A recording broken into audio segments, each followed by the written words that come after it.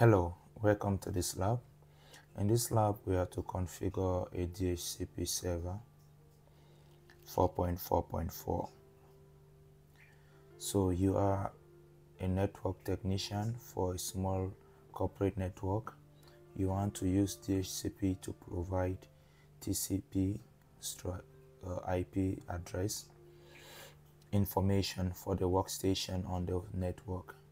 You already have a Windows Server 2022 server named COP DHCP installed and running as a guest on COP server. You have installed the DHCP server role and now you are ready to configure an IPv4 scope. In this lab, your task your task is to on the COP DHCP server running as a guest on the COP server, create a DHCP IPv4 COP server with the following parameters. So we go to the COP server. This is the COP server. From the COP server, we are supposed to go to let's expand this cop DHCP we double click on this cop DHCP we go to tools then we go to DHCP excuse me sorry. Go to DHCP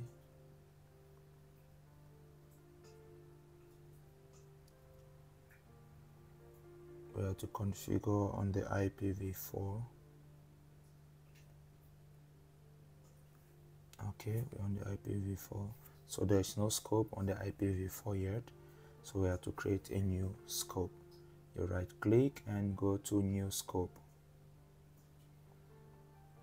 This is where now we have to follow all the step-by-step -step instructions. We click next the name has been given here i would always advise you you copy any information that can be copied. Firstly to save time and secondly to avoid any mistakes because with the with the test labs you can easily uh, make a mistakes with even the the case the letter case. So we paste this and we go to next. IP address range. So address range it starts from this to this. So I'll type this out. 192.168.0.20 0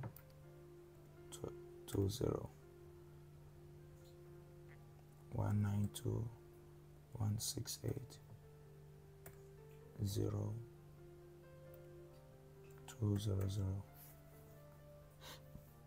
the length has to be 24 which is there by default. Subnet mask which is there by default. 255.255.255.0 so we go to next.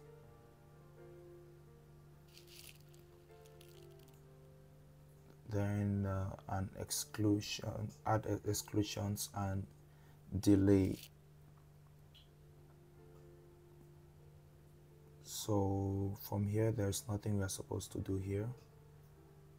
The instructions that it said do do not set. So next.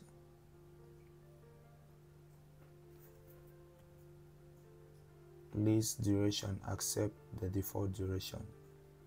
So we're accepting the default duration. Next. Configure DHCP options next.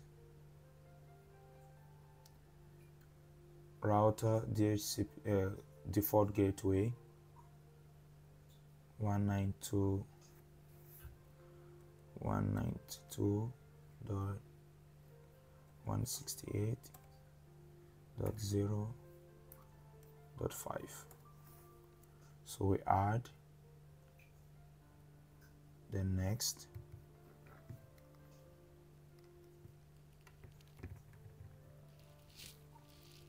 then we go to next uh, what's the next step here? Domain name and DNS servers. Parent domain accept the default. Okay. Scope options and DNS servers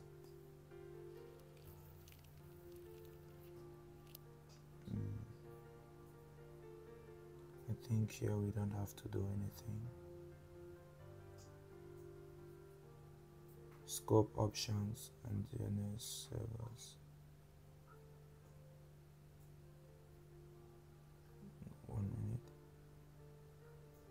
I think here we have to put the IP address.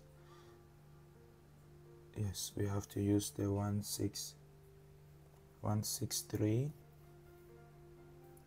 excuse me we have to take this one out first. 163 128 78 93 please don't forget to subscribe to my channel and to hit the like button. Thank you. So we go to we add and go to next. We don't have to do anything here. Go to next. Yes I want to activate this scope now. Next. And we are done.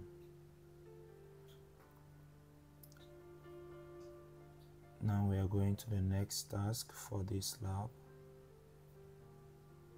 don't forget to hit the subscribe button. So on the COP uh, DHCP activate the subnet 1 scope. So we, are, we should activate what we just created. You expand the IPv4 go to scope and right click and I think it's activated already. We don't have to do anything else. Sorry we have to go to the scope. Excuse me please. Scope options. Oh I think I'm messing this up. Mm. just a moment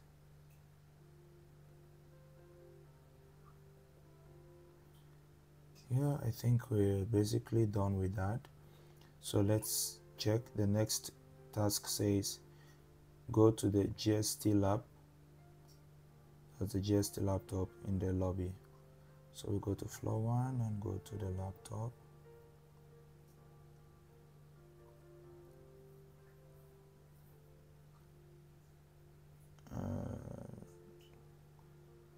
So we're going to configure the local area network to obtain its IP and DNS addresses automatically from the DHCP server. So we go to settings, right click on the start, go to settings, then network and internet, then we go to ethernet, change adapter options, then we right click on ethernet and go to properties.